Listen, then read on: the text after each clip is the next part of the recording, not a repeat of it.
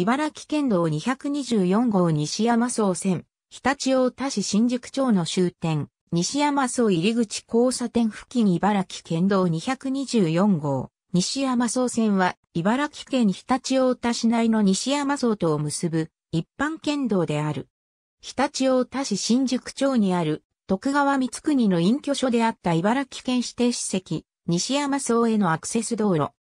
路線認定当時は西山荘前から続く歩道区間も含め国道293号まで結ぶ路線とされていたが、その後、園内の歩道区間は日立大田市道へ移管されたため、現在では車道区間のみ、県道の指定区間となっている。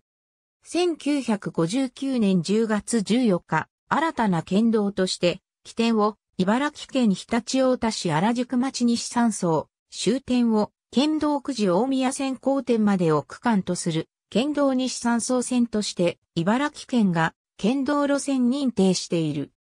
1998年に西山荘前から続く園内の歩道区間が日立大田市に移管されたことにより、路線長が短縮されて、起点が西山荘前から車道部の末端にある西山の里桃源前に変更されている。福音、曲線半径、勾配その他道路の状況により最大積載4トンの普通貨物自動車が通行できない区間。